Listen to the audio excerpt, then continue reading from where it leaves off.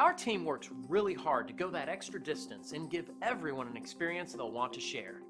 We're so thankful for this great review that makes all of our efforts worthwhile.